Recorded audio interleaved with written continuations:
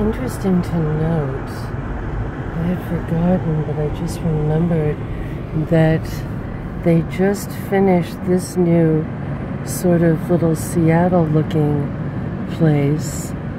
And, um,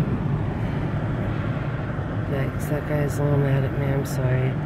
Um, and right behind it is this new, like, microbrewery place that's just bizarrely um, overpriced. I kind of wound up there one time and couldn't believe it. You know, it's the kind of place that has little fakey, you know, sliders or whatever, just, uh, you know, for $13. just really kind of ridiculous.